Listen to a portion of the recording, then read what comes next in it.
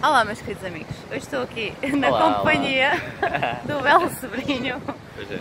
e hoje venho partilhar convosco uh, sobre os bogos. Os bogos na do Terra quer dizer que na compra de um óleo essencial vocês recebem dois óleos essenciais ou outro produto do Terra. Também podem uh, vir a ganhar muito mais.